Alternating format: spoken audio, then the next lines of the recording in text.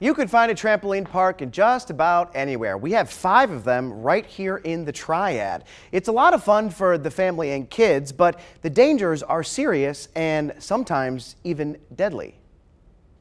Trampoline parks are packed on weekends with kids jumping. David Chazen represents more than a dozen people injured at these parks in New Jersey. Look below the screen there. At the bottom right of the screen, a father unknowingly causes what's known as a double bounce. The force of the trampoline coming back up from the father's hop across broke the four-year-old's femur. Oh my gosh.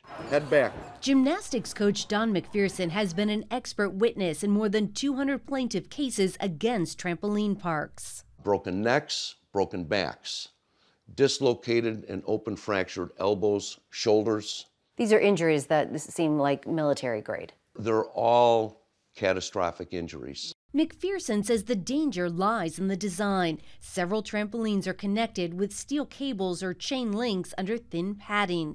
As people jump, waves of energy are generated in all directions, which can cause those double bounces that can end in high impact collisions. Emergency room visits from trampoline park injuries have shot up from 2,500 in 2013 to almost 18,000 in 2017.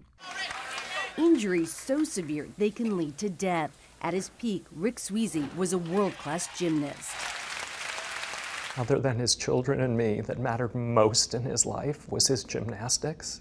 That all changed in 2017 when Rick visited a trampoline park in Virginia with his husband, Nick Scandalius, and their twins.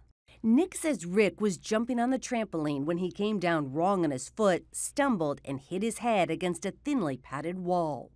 The C2 vertebra cracked, constricted his airway and his blood flow, paralyzed him. He was over 90% brain dead. Within three minutes, you lost the love of your life. Yep. I watched the lights go out in his eyes.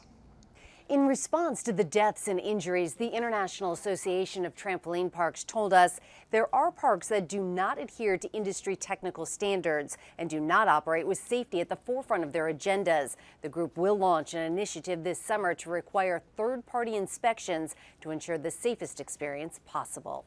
Meg Oliver, CBS News, New York.